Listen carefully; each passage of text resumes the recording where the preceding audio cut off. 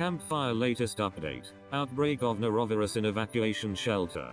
Campfire has become the deadliest wildfire in California's history, and now an outbreak of norovirus has struck an evacuation shelter in the area. Campfire, also known as Paradise Fire has destroyed nearly 9,000 homes and scorched 140,000 acres. So far 56 people have been confirmed to have died as a result of the devastating blaze, and 130 other people remain unaccounted for. Firefighters remain fiercely battling the blaze alongside three others currently aflame in the state.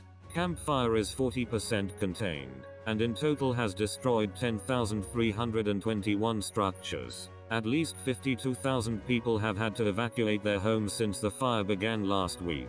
At a shelter housing those who have evacuated, there has been an outbreak of norovirus. Butte County Public Health spokeswoman Lisa Almaguer said lab tests confirmed the virus presence. Norovirus, also known as the winter vomiting bug is highly contagious and commonly spread when people are living in close quarters. Main symptoms of the virus include feeling sick diarrhea vomiting, a temperature of 38 C or above aching limbs a headache.